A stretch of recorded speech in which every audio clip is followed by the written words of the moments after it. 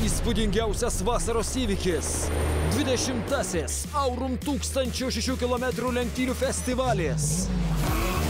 Gera dovana drift, gatvės ir decibelų dragas. Koncertai, naktinis kinas, o gyventi galėsi festivalio kempinge. Pasiruoškit adrenalino dozei jau Liepos 18-20 dienomis. Kas nutinka su aurum, lieka su aurum.